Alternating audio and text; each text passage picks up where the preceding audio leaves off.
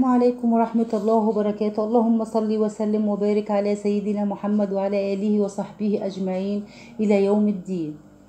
سأتحدث معكم يا أحبابي في تأويل رؤية الإسلام.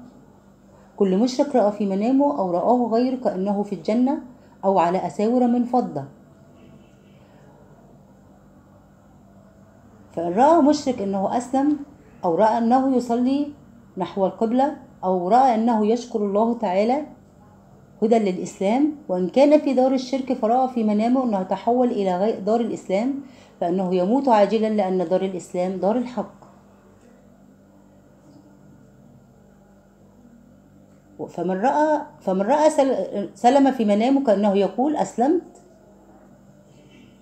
فإن رأى مسلم في منامه كأنه يقول أسلمت استقامت أموره واستحكم أخلاصه. فإن رأى مسلم كأنه يسل يسلم. ثانيا سلم من الآفات ومن رأى من المشركين كأنه كان ميتا فحي فإنه يسلم. وكذلك إذا رأى ساعة في صدره فإنه يسلم. وكذلك إذا رأى نفسه في سفينة في البحر فإنه يسلم. تفسير رؤية الإسلام. والسلام عليكم ورحمة الله وبركاته. ولنا لقاء آخر إن شاء الله في تفسير جديد. تفسير الرؤى. معكم أم الصابرين. أرجو الاشتراك في قناتي. والله أعلى وأعلم